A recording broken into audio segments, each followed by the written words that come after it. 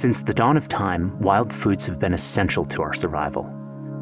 For hundreds of thousands of years, our bodies have evolved to integrate the vast array of vitamins, minerals, and nutrients these wild foods provide. At the dawn of civilization, we began domesticating, cultivating, and selectively breeding these foods to maximize yields and harness their potential. It's only recently, with the advent of industrial agriculture and the introduction of chemicals to our food system, that we have begun to divorce ourselves from nature much to the detriment of our health, our environment, and our way of life.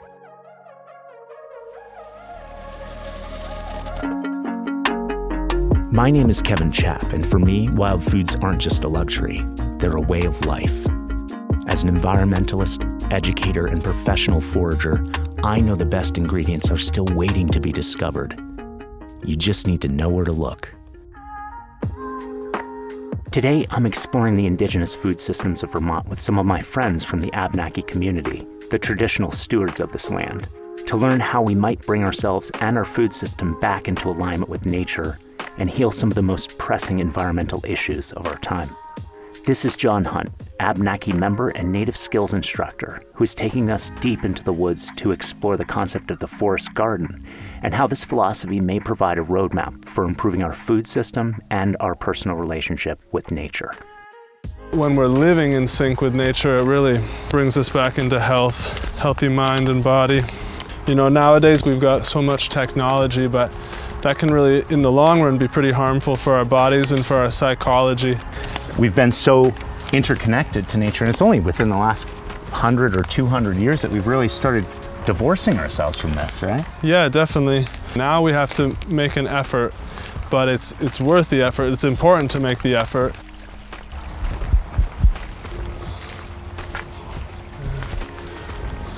Whoa. Oh, hey. The base too. Beautiful. Yeah, that's a nice looking maitake there. What a perfect example of the prolificness of nature, right? Yeah, yeah, these old trees and the mycelium's probably helping them out. And then they're just producing so much food. So, John, can you talk to us a little bit about the concept of the forest garden? Yeah, I mean, the forest garden is, it's a way of being in relationship with the land that promotes food for, for us and for, for the animals, for all the life the earth just like is growing in a, in a wild way. It's just producing as much as it can.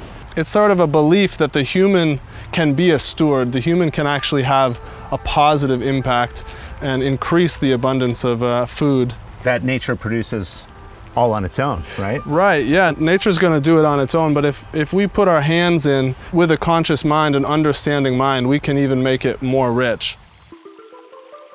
Sometimes like we got the story like that we left Eden, but the Abenaki people never left Eden, and uh, we've just been in this place, cultivating this place.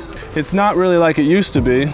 You know, the land's definitely been changed a lot, but the trees are still around, the potential is still here, and we're doing it, we're bringing it back in different places. I just think it's amazing to think when Europeans landed here, they couldn't see all the cultivation that had happened for tens of thousands of years. That's really allowing nature to do what it does best. The sophistication of the, the agricultural system was so high that people couldn't see it at all. And it just seemed like abundant wildlands. But really, they were so abundant because of our deep connection and long-term stewardship of them. When we talk about wild foods, we're talking about rewilding our food system, bringing it back into alignment with nature. The concept of the forest garden that John has just outlined is a central theme in many indigenous cultures and can show us how to become better stewards of the environment in which we all grow. There's such abundance to be found in nature when we move into closer alignment with it. Armed with this new information, I travel north to Sterling College to meet with Tiana Baca, professor of sustainable food systems and faculty head of the Dawnland Gardens, a new program in partnership with the Abenaki people to reintroduce native crops back into our food system. Tiana is helping to unpack indigenous approaches to agriculture and how the Abenaki maximized yields in a system of companion planting known as the Three Sisters. Are you going to seed bank these or are you going to use these for food or what? Yeah, so this particular variety, these are speckled Algonquian beans, um, and these are seeds that are being grown specifically for the Seeds of Renewal project.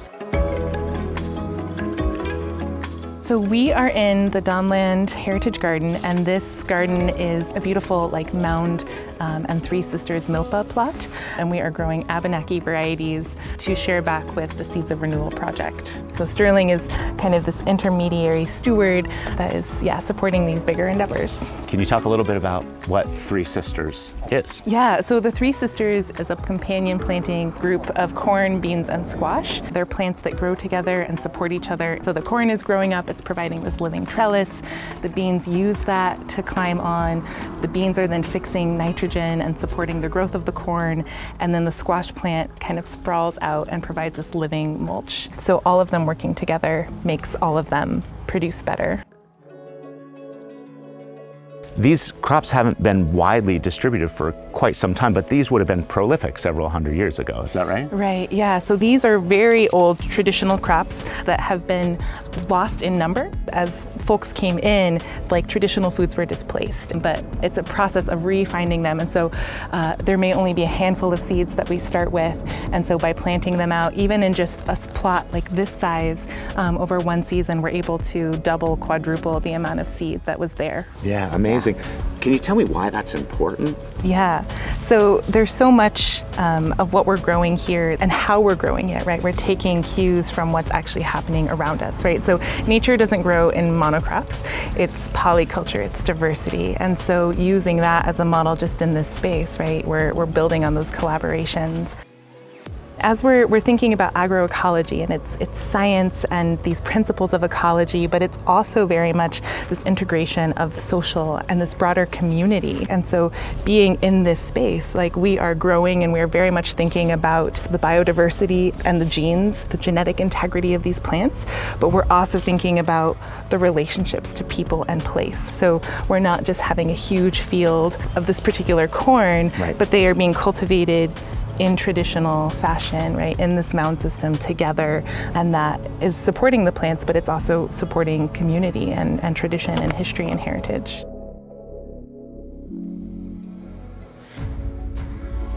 Agroforestry and the rediscovery of indigenous crops are an integral part of how we reinvent our food system.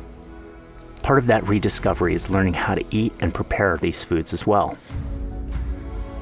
My friend and Abenaki chef, Jesse Lawyer, is helping in this effort by preparing a traditional meal from the crops we've just seen, while I discuss how wild foods played such an important role in indigenous communities with Chief Don Stevens, tribal elder of the Nulhegan Band of the Coosuk Abenaki when the Europeans came. They came to this land and they saw a forest that probably was fairly groomed. So they say, wow, I'm going to move in, not knowing that native people are nomadic and they create agroforestry so that way we don't use up all the resources and we promote it.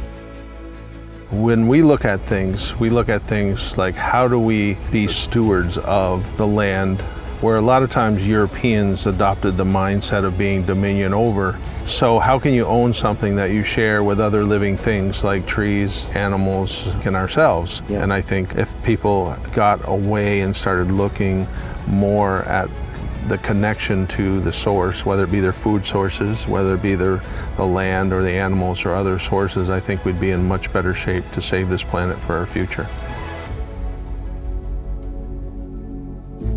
If you think about the history of Vermont, that this was deforested. Mm-hmm. I mean, there wasn't a lot of forest left at one point. And then Vermont switched and now we're mostly forested, right? So there is hope. There is a way to reconnect and change the outcomes of what is happening. But the only way to do that is to put the effort, time, and resources into connecting with us, Native people, and others to try to remember that historical knowledge of connection to our land, our animals, and our wild food sources. Yep. The forests and the wild foods sustained our people for thousands of years. Why would we not think it wouldn't do that now?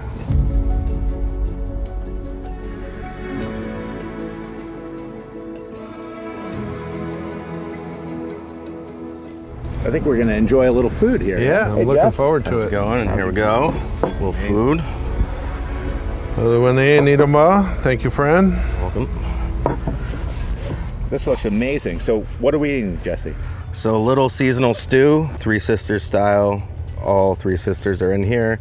We have uh, moose cooked down with carrots, onions, sunchokes, squash, vegetable broth thickened with bean flour. The bean flour came from Vermont bean crafters for the Abenaki people.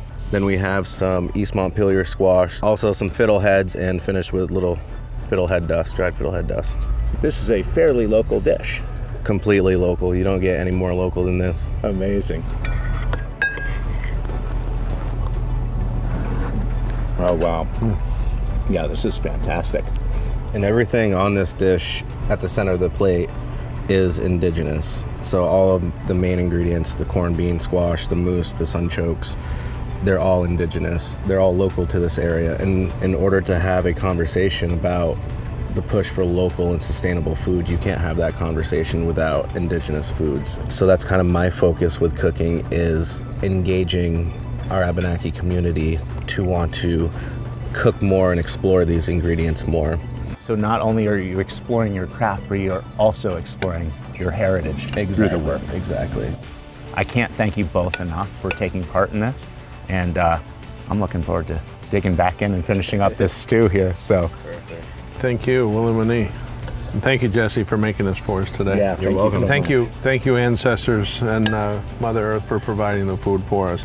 We always got to remember to thank where we get these things from. That is an important acknowledgement in our culture that we have to acknowledge that this is not given to us alone. This is a gift that we must be thankful for and to share.